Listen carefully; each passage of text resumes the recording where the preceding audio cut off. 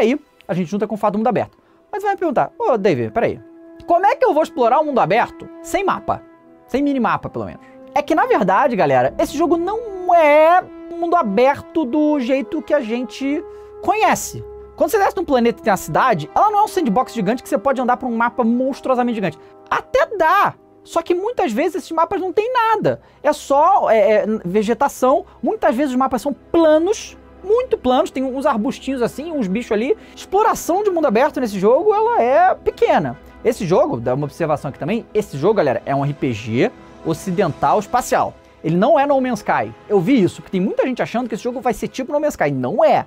Não é um jogo de exploração espacial, digamos, de exploração, exploração. Não é. O No Man's Sky é.